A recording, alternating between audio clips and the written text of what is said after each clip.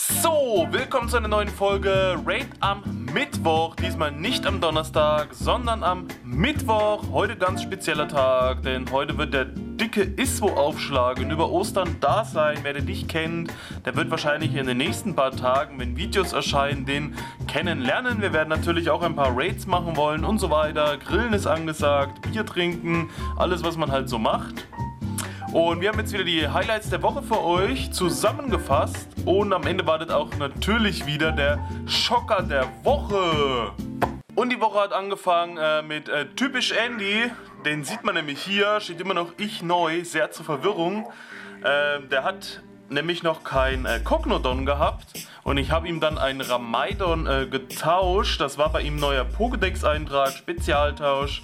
Er hat es deswegen dann Ramondon genannt, weil ich heiße ja Ramon und jetzt hat er seinen Ramaidon Ramondon genannt. Lustig ist, kurz danach, nachdem er also den Eintrag hatte, hat er auch einen Cognodon gefangen in freier Wildbahn. Er hat bisher noch kein einziges gesehen gehabt. Kaum hat er die Entwicklung in der Tasche, kriegt er auch die Vorstufe davon. Sehr komischer Zufall, aber so war das halt. Was habe ich dafür bekommen? Ich glaube, ein Shiny Taubsi hat er abgegeben, weil das braucht er nicht. Das ist für ihn Mist.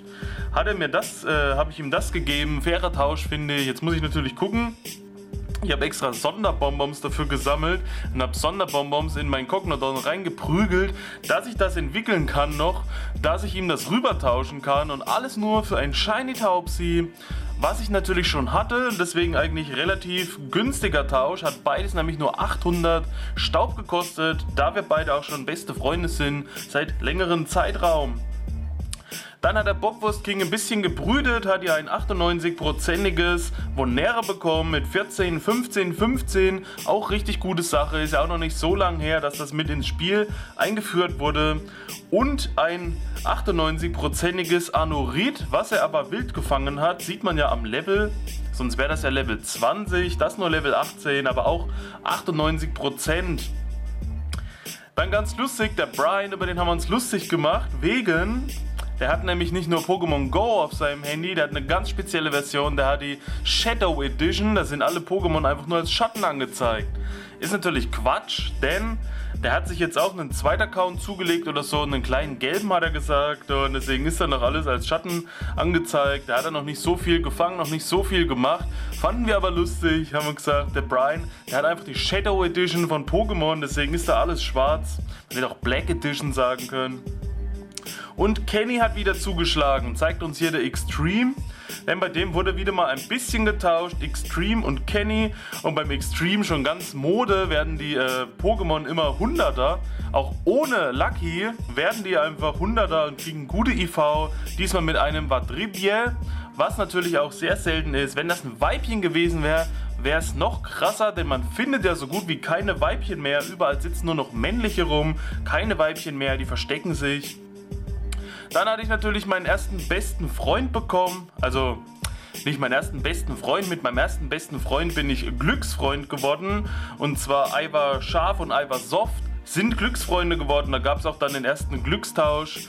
Da ich meine äh, Shiny Lavados alle weggegeben hatte auf dem großen Account, habe ich mir dann einfach nochmal ein Shiny Lavados rübergeschickt. Und das ist natürlich Lucky geworden, garantiert, obwohl die ersten Trades, die man bei Lucky Friends gemacht hat, gar nicht garantiert waren.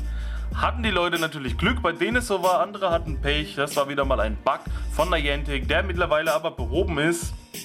Hab mir also das Lavados rübergegeben. Bisher der Beste, hat sich Brücke doch gelohnt, sagt die Terror-Zicke. Die hat nämlich die Woche einen Raid mitgemacht gehabt an der Brücke der Technik, an der X-Raid Arena und ein 93-prozentiges Giratina bekommen. Und gleich danach den guten habe ich ihn auch endlich noch ein Shiny Kramurks hinterher, auch mit richtig gutem Level, wie ihr seht. Dann haben wir, glaube ich, einen neuen Pokestop bekommen. Irgendwie weiß ich das gar nicht mehr, ob das von uns ist oder nicht von uns, aber müsste eigentlich von uns sein, sonst wäre es jetzt wahrscheinlich hier nicht in diesen Screenshots. Brunnen am Elise Pambeheim. Weiß ich gerade überhaupt nicht, wo das ist, wo das sein soll, keine Ahnung. Ist aber, glaube ich, neuer Pokestop bei uns. Muss ich mal gucken, habe ich auf jeden Fall noch nicht gedreht. Dann die Cindy, nennen wir sie mal, weil sie so heißt. Gut. Die hat nämlich einen Despotar gewollt damals und da habe ich einen Despotar rübergetauscht und sie hat es dann liebevoll Ivatar genannt statt Despotar. Ivatar wegen Ivar Scharf, wegen dem Accountnamen. Und das fand ich auch cool. Ist zwar schon ein bisschen her, aber den Screen habe ich noch nicht gezeigt, hatte ich noch nicht gehabt, hat sie mir noch geschickt jetzt. Das Ivatar mit 2089. Dann bei einem Raid, ich glaube, das war auch an der Brücke. Ja, nee, doch. Ja, sieht man im Hintergrund. Das war auch die Brücke, da haben wir auch einen Raid gemacht. Da war der äh, Kenny wieder dabei und der ist mit seinem kleinen Account aufgestiegen. Deswegen der Screen von ihm, Samin666 and you became Lucky Friends, ist er also aufgestiegen mit seinem kleinen zu Lucky Friends, kann sich jetzt was Geniales rübertauschen. Bin ich mal gespannt, was das sein wird. Das sehen wir dann aber gleich auch noch. Den gab es auch aus der Brücke. Da habe ich nämlich noch einen 98er Giratina bekommen. Aber ich glaube nur auf dem zweiten Account, auf dem Ivar Mild, nicht auf dem Ivar Scharf. Trotzdem gute Sache, denn ihr wisst ja, dass das ein richtig guter Geistangreifer auch wird. Besser als Gengar noch mit 3677 auf Level 40 bei 98%. Einfach mal mitgenommen. Ein 96er gab es noch hinterher.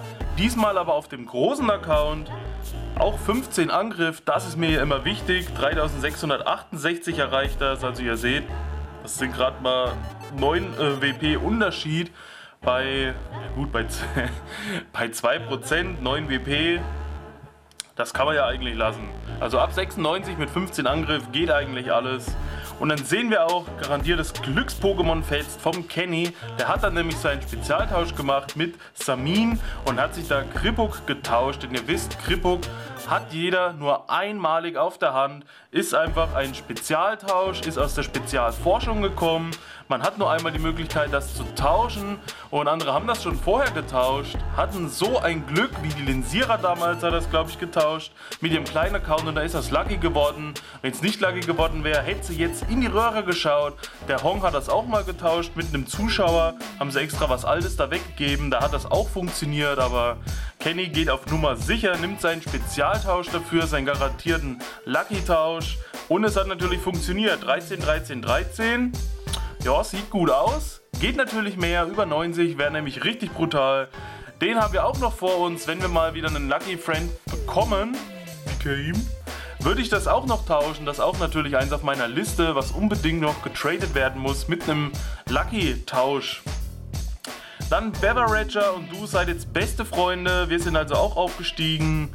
Ich glaube, das war sogar am Community Day, wenn mich nicht alles täuscht, oder?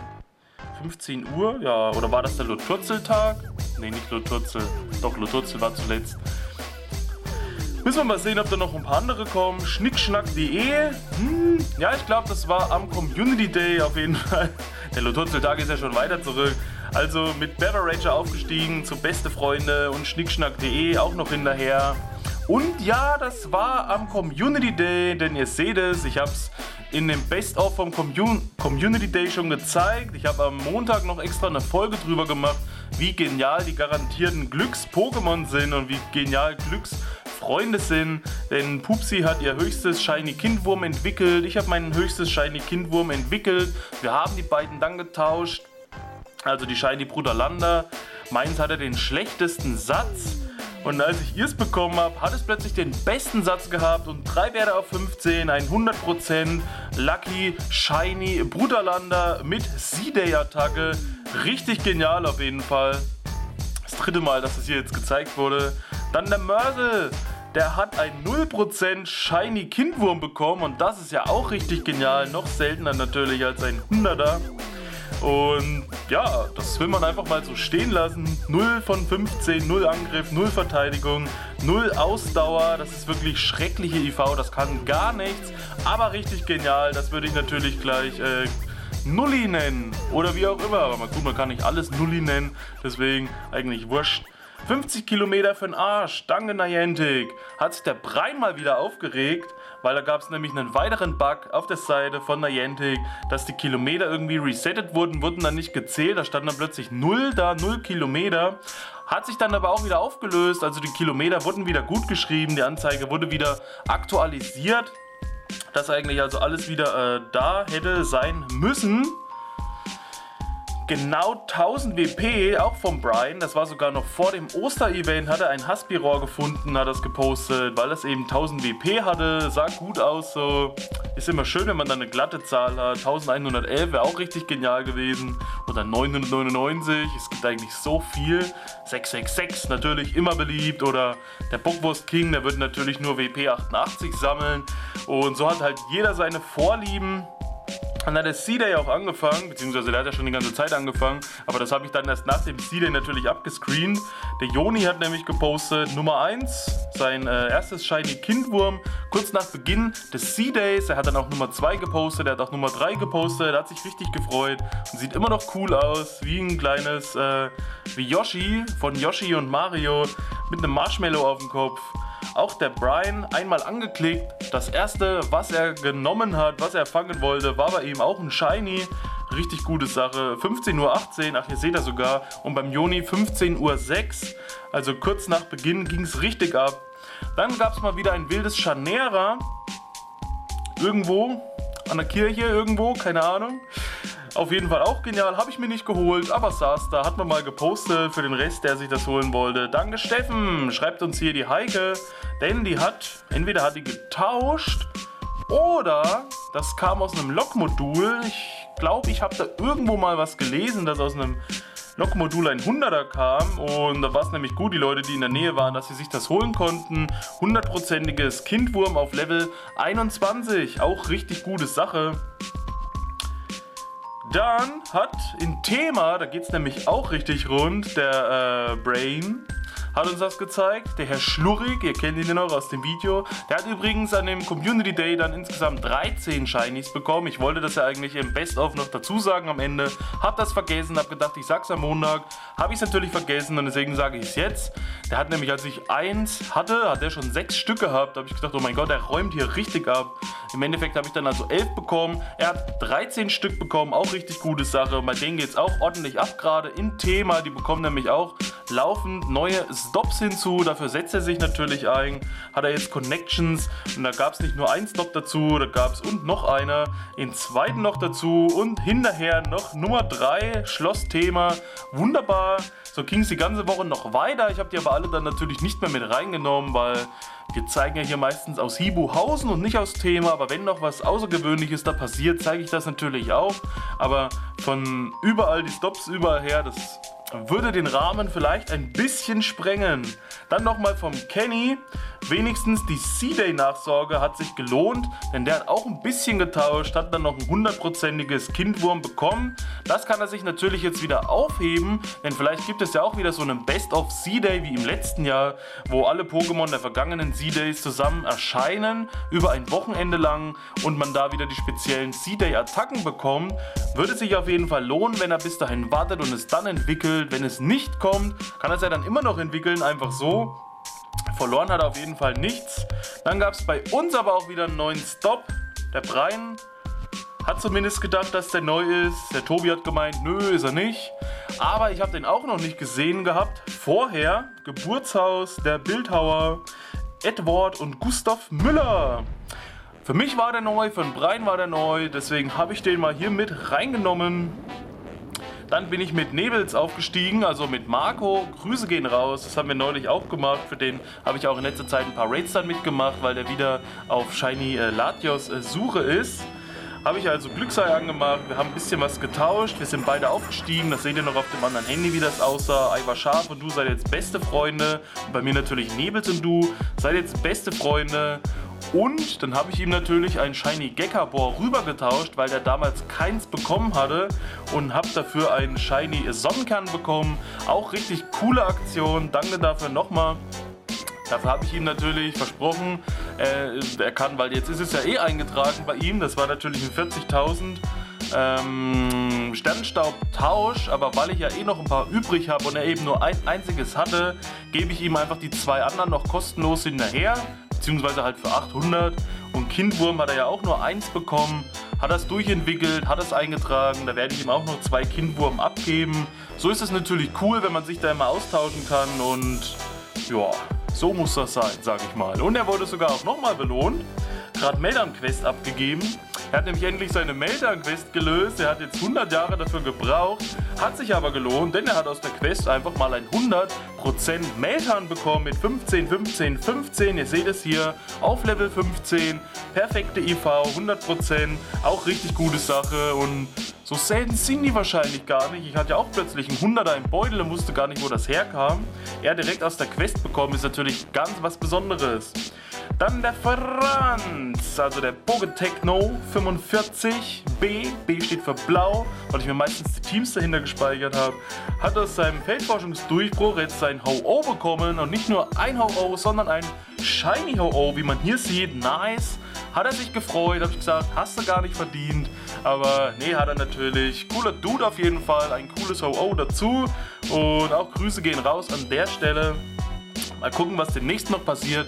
Die müssten ja bald auch mal wieder wechseln, die Feldforschungen, die, also die Feldforschungsdurchbrüche. Wir sind gespannt, was dann reinkommt. Ich selber habe dann auch ein bisschen noch gebrütet. Da habe ich noch einen 96er Pichu bekommen. Leider kein Shiny. Jetzt beim Osterevent kommen die natürlich auch aus Zweier-Eiern als Shiny und eben äh, äh, als Nicht-Shiny, weil man muss ja viel brüten, damit man auch möglichst viel Brutmaschinen wieder kaufen muss. Man muss ja das alles irgendwie ankurbeln. Na, der hat sich doch mal gelohnt.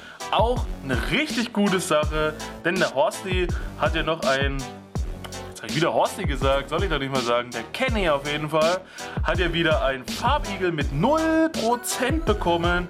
Richtig genial. Die 3 für Level 3 natürlich. 000. Auch richtige Seltenheit. Immer noch genialer, krasser als ein 100er. Obwohl bei dem kann man das ja auch nicht groß beeinflussen. Den kriegt man ja nur aus der Fotostation. Und da ist eigentlich ein 100er und ein 0er dann genauso. Nee, ist nicht, weil das 100er könntet ihr ja trotzdem ertauschen. Das könnte auch durch einen Lucky Trade oder durch einen normalen Trade zu 100 werden, aber nicht zu einem Nuller. Deswegen müsste er das theoretisch genauso rausgezogen haben und gefangen haben. Dann haben wir wieder einen weiteren Stop bekommen. Hier schräg gegenüber vom Haus, neben McDöner nämlich äh, irgendein Palast. Ja, Palast der Herzogin Paul oder Palais oder wie auch immer. Dieses Haus hatte die Prinzessin Paul von Württemberg eine Tochter, Herzog Fried und dann der Rest ist egal, der steht nämlich nicht mehr da. Also auch wieder neuer Pokestop an der Stelle. Das braucht man bestimmt für morgen. Dann habe ich das Original Raid Spray entdeckt was euch helfen soll, die Shiny-Rate der Raids äh, zu erhöhen. Dass wenn ihr einen Raid macht, müsst ihr vorher natürlich die Umgebung einsprühen und die Arena einsprühen. Am besten, wenn der Arena-Leiter kommt, den auch noch das Spray in die Augen sprühen, damit er nichts mehr sieht, leichter zu besiegen geht und dann klaut ihr alle seine Pokémon. Also das hätte es früher nicht gegeben. Aber ist natürlich nur Quatsch, denn der Kenny hat bei mir auch wieder ein bisschen getauscht. Ist immer gut, wenn man seinen Account weggibt und dann kommt der wieder und dann hat man sowas drauf. Und dann gab es auch noch einen äh, Lucky Kindwurm, was sogar 100% bekommen hat. Also richtig geniale Sache. Jetzt habe ich also das 100er äh, Kindwurm entwickelt, was ich damals aus dem Ei bekommen habe. Habe das hochgezogen, habe das Shiny, Lucky, Bruderlander entwickelt. Also nicht entwickelt, einfach nur hochgezogen mit 100%. Und jetzt habe ich noch ein hundertprozentiges Kindwurm, was ich zum Bruderlander machen kann und günstig hochziehen könnte. Aber das gleiche wie bei ihm vorhin mit seinem 100er, würde ich natürlich warten, ob es wieder so einen Best-of C-Day gibt, dass man das mit reinnehmen kann und dann dort für die Attacke natürlich, denn mit Drago Meteor wäre das ein bisschen verschwendet, also nehmen wir das natürlich mit äh, Wutanfall. Wenn es das wieder gibt, weiß man ja jetzt noch nicht. Dann habe ich gesehen, es gibt ja nicht nur Raid-Spray. Ich dachte, das ist einfach allgemeines Raid-Spray. Aber wie ihr seht, gibt es also extra Raid-Spray für Team Rot und es gibt Raid-Spray für Team Blau. Und was gibt es nicht? Genau, die Minderheit, die Außenseiter. Es gibt kein Raid-Spray für Team Gelb. Deshalb bin ich gelb, weil wir machen unsere Raids ohne. Wir brauchen da keine Hilfsmittel. Richtig genial. Nein, die haben halt immer die Arschkarte, die Gelben. Deswegen bin ich so gern gelb. Dann der Nebels. Wir sagen es nochmal, bei Marco habe ich hier noch ein paar Raids mitgemacht, denn wir haben jetzt gestern eine kleine Raid-Tour gemacht. Da kam ja das Video gestern äh, hoch. Habe ich fünf Stück gezeigt. Drei haben wir dann nachmittags noch gemacht mit den anderen. Mit äh, Fahrlaub und Max waren da dabei. Und Da haben auch der Brian natürlich auch. Da haben wir noch drei Stück gemacht, aber zwischendrin habe ich dann irgendwo mal ein 98-prozentiges für Marco gefangen. Da hat er sich natürlich auch gefreut, auch wenn es leider nur 14 Angriff hat. Was hier natürlich anders aussieht, ihr seht nämlich die WP, das hat 2171, sieht man hier unten. Und das hat 2173, auch ein 98er eben mit 15 Angriff. Und dazu natürlich noch Shiny. Und das war für meine Cousine. Die hat nämlich Geburtstag am Samstag. Hat sich ja gewünscht gehabt, dass ich einen Giratina für sie fange und einen Latios, weil die hat die beiden noch nicht. Habe ich also, als ich die Raids mitgemacht habe, ihr einfach einen Giratina gefangen. Und beim ersten Latios Raid, den ich bei ihr gemacht habe, ein 98er Shiny Latios, da freut sie sich sicherlich, da braucht sie nichts anderes mehr. So muss das sein, das sind doch einfache Geburtstage, einfache Wünsche. Als wir die Raid-Tour gemacht haben, ist dem Kenny aber auch aufgefallen, dass wieder dieser Bug im Spiel ist, der das falsch anzeigt. Juhu, gleich mal 200 Bonbons abgestaubt. Ich feiere Niantic so sehr. Da gab es nämlich bei jedem Raid diese Anzeige 1200 Staub und 200 Bonbons, was totaler Schwachsinn ist. Die gab es natürlich nicht, aber es stand jedes Mal so da, was auch zur Verwirrung äh, führen kann. Und ich habe mich immer gewundert, wieso mein Beutel permanent voll ist, bis ich gesehen habe, dass ich mittlerweile schon 28 Sonnensteine hat, äh, hatte, 24 Kingsteine, 31 Metall, Mäntel, 19 Drachen, Häuter, also was will man damit? Eigentlich reicht es, wenn man fünf Stück von jedem aufhebt, aber eigentlich kann man auch alle weghauen. Man hat ja alles Gute schon entwickelt und man kriegt die ja eh immer zuwider, wie ihr seht. Bei den Sino-Steinen natürlich anders. Die sind immer noch Mangelware, vor allem wenn man kein PvP mehr spielt, so wie ich, dann äh, tut sich da sowieso nichts. Dann der Abschluss für jetzt von diesem, denn gestern Abend ging also dann das Oster-Event los mit Haspiror, Shiny Haspiror. Mittlerweile weiß man auch, dass es Fluveluff aus den 2 Kilometer Eiern als Shiny gibt. Und der After Hour war der erste, der äh, gestern Abend geschrieben hat und ihr so und hat dreiviertel elf das erste Shiny Haspiror bekommen, von dem ich jetzt weiß. Glückwunsch natürlich äh, dazu. Jetzt wissen wir nochmal, wie es aussieht. Hat auch so ein bisschen Marshmallow da an den Ohren und um den Bauch rumgeschlurpst. Und ja, 4,44 Kilogramm. Das Event läuft ja jetzt noch ein bisschen, wird natürlich schwer über Ostern da effektiv zu spielen. Da ist man da eingeladen, da wird in der Familie da gegessen, dann ist dann noch äh, Ausflug, da ist noch Grillen angesagt, der Isbo ist auch da und der will ja immer zu Hause sitzen und Wrestling gucken und Bier trinken. Und ja, mal gucken, wie wir das machen, ob wir das hinkriegen. Wir müssen trotzdem ein bisschen raus zum Raiden. Und jetzt zeigt man natürlich noch den Schocker der Woche. Und der Schocker der Woche, wie kann das anders sein? Der kommt natürlich von mir. Das ist immer noch das hundertprozentige Lucky Shiny Brutterlander, denn da hat ein Kommentar der Tatoka, heißt er glaube ich, Tatoka? Ja, Tatoka müsste er glaube ich heißen, hat bei YouTube einen Kommentar abgegeben. Wenn das mal nicht selber Schocker der Woche wird, Ramses, dann weiß ich auch nicht. Wollte dann eine Wette mit mir abschließen, weil ich gesagt habe, es würde mich natürlich sehr ehren, wenn ich in meiner eigenen Sendung selber mal Schocker der Woche werden könnte. Hat er gesagt, er wettet mit mir, wenn ich Schocker der Woche werde, dann postet er seinen Kommentar drunter und ich muss ihn adden. Dann habe ich gesagt, okay, und wenn ich es nicht werde, dann poste ich meinen, äh, meinen, äh, meinen äh, Code, meinen Freundescode dahin und er muss mich adden. Also eigentlich eine Win-Win-Situation, Win-Win-Situation, Mann, Junge. Aber den Gefallen wollte ich ihm nicht tun, dass er gewinnt. Ich wollte natürlich gewinnen und deswegen bin ich nicht Schocker der Woche, denn das ist schon ausgelutscht. Der Drops ist gelutscht, das haben wir jetzt schon gesehen beim Best-of, das haben wir gesehen am Montag, das haben wir vorhin gesehen, das haben wir jetzt gesehen. Und deshalb der Schocker der Woche ist BAM! Der linke Networks, denn der hat ihr ein hundertprozentiges Shiny Latios bekommen mit 2178. Richtig krass. Ihr seht, das kommt auf 3812. Also das würde ich natürlich sofort maxen. Ist zwar nicht auf seinem großen Account, sondern nur auf dem kleinen Account, auf dem Bummels Account.